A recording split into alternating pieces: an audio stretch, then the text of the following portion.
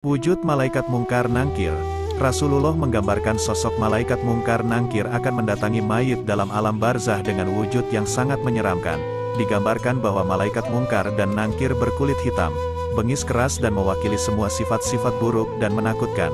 Sabda Nabi Muhammad Sallallahu Alaihi Wasallam, ketika seseorang telah diletakkan di dalam kuburnya, maka malaikat mungkar dan nangkir mendatanginya, keduanya adalah malaikat yang keras kasar, Hitam kebiruan warnanya seperti malam yang gelap gulita, suaranya seperti petir yang menggelegar, matanya seperti api yang menyala-nyala, giginya seperti tombak rambutnya terseret di atas tanah, dan di kedua tangannya terdapat alat pemukul atau palu.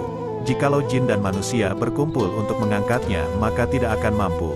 Kedua malaikat bertanya kepada ahli kubur tentang robnya, tentang nabinya dan tentang agamanya.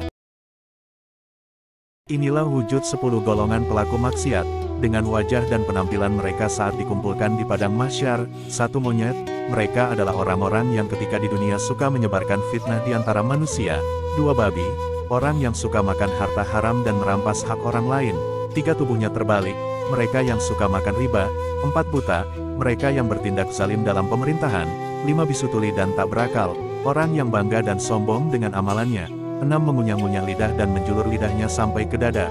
Mereka adalah para ulama dan hakim, yang kata-katanya berlawanan dengan perbuatannya. Tujuh disalib di atas palang api, yaitu mereka yang suka memfitnah orang lain kepada penguasa. Delapan orang yang terpotong tangan dan kakinya, mereka yang selalu mengganggu tetangganya. Sembilan baunya lebih busuk dari bangkai, mereka yang selalu memuaskan hawa nafsunya. Sepuluh memakai baju panjang terbuat dari timah yang meleleh. Mereka adalah orang yang selalu takabur.